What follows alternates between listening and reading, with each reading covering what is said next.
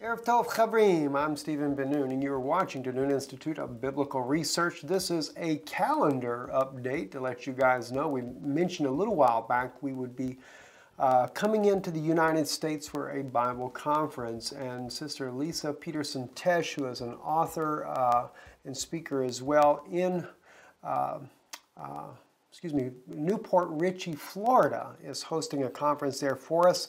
Uh, the, we, this is not the official name of it, but as of right now, the way we've kind of uh, things were laid out is the conference is being called Unlocking Biblical Prophecy. Uh, we'll be speaking at this conference. It'll be Friday and Saturday on June 19th and 20th. Uh, and by the way, the conference is uh, being held at Homewood Suites Hotel. That's only about an hour from uh, Busch Gardens and about maybe an hour and a half to two hours from SeaWorld or uh, Disney World. In, in, the event that you were to be looking at possibly taking your family on a little vacation and wanted to be able to attend the conference as well, it might work out really well for you guys, especially as time school will be out during this time. Um, if you want to register for this conference, uh, please, uh, it's, it's, it should appear on your screen here, but contact Sister Lisa uh, about that. Her email address is Lisa, her, uh, all her whole name, Lisa Peterson Tesch.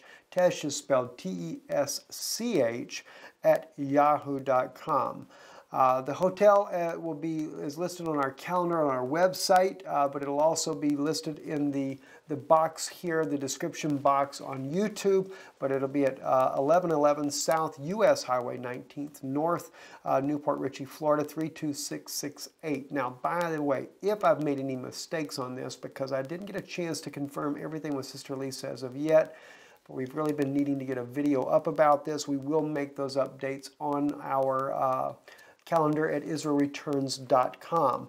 Anyway, the meeting begins at 2 p.m. on Friday, and tentatively, uh, Sister Leora from Chicago, uh, it's just tentative as of right now, will be leading our worship service there at the conference for the first half hour there.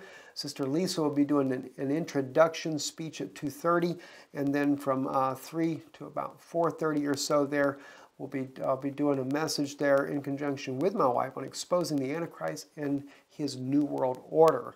Um, also, there will be a 4.30 to 5 p.m. break, and then we'll be going uh, right into a final message at the end of the evening there on Yeshua's loving redemption. And there will be a baptismal service for those that, are, that have never been baptized and would like to be baptized. We'll be having a baptismal service at the end of the evening there.